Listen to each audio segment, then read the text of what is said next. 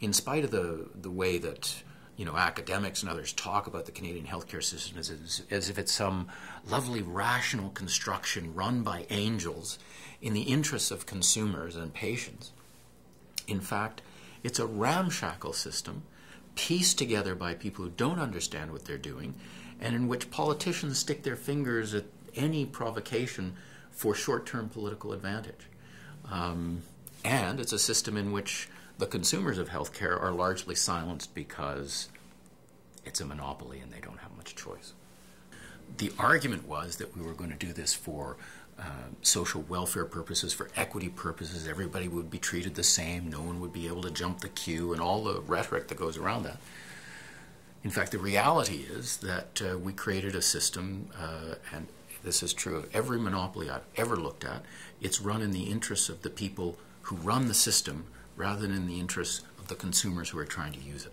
In the Canadian healthcare system, you're not a customer because you don't have a choice. You can't say, if you don't deal with me expeditiously, if you don't keep your promises, if you don't do what you're supposed to do, I'm going to take my business elsewhere. That choice doesn't exist for you under the Canadian healthcare system. Everybody in the system gets paid whether you're satisfied or not. And uh, the outcome of that is that um, uh, we have a system with lengthening queues.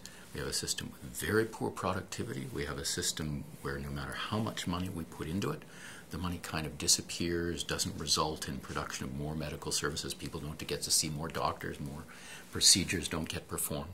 Uh, and um, where it's getting increasingly hard for Canadians to even have a family doctor. 20% of Canadians, according to Statistics Canada now, don't have a family physician and can't find one. Uh, so I'd say that these are quite significant problems in the Canadian healthcare system.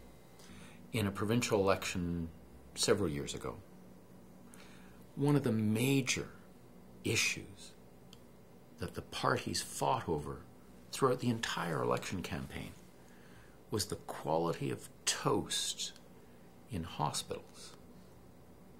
There was much argument about which party would ensure that there was better quality toast in the hospitals of Manitoba. Now, aside from the fact this is a ridiculous thing to fight an election about, I think it says something very important about what politicians believe in this country, their responsibilities are in the healthcare system. You see, I think in almost any other country, the idea that politicians would be responsible for the quality of toast in hospitals would be laughable.